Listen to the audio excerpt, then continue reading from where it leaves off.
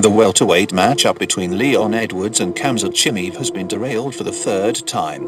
UFC President Dana White told ESPN on Thursday that the 13th of March bout was off after Chimaev once again had to withdraw from the fight because of lingering effects from COVID-19. That's why the UFC welterweight contender Leon Edwards named three potential opponents. According to Ariel Helwani, Edwards manager Tim Simpson to discuss potential opponents for the Brit. According to Simpson, Edwards wants to fight on the 13th of March.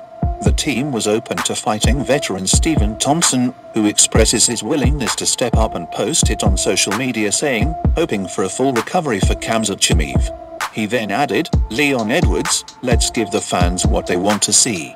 Number 3 versus number 5 but he's apparently injured. Instead, Team Edwards is now looking at three other potential opponents including George Masvidal, Colby Covington, and Nate Diaz. I'm sure the fan love to see this, but I think Edwards versus Masvidal could be an exciting fight. The two fighters haven't finished business, as you likely remember, Masvidal and Edwards made headlines due to post-fight, backstage scuffle they had at UFC London.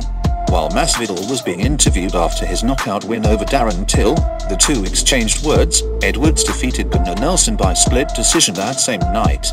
Masvidal approached Edwards and things escalated, really, really quickly. So let's give them a closure. What do you think guys? Who should Edwards fight? George Masvidal, Colby Covington, and Nate Diaz? Just comment your suggestion down below.